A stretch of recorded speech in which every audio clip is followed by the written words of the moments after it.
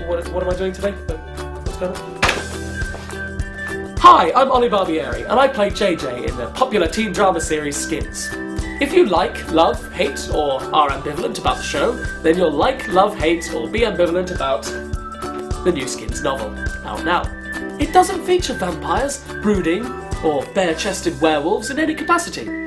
Sorry. It's a whistle stop tour of broken hearts, broken friendships, and totally inappropriate behaviour. It says so on the cover, so it must be true.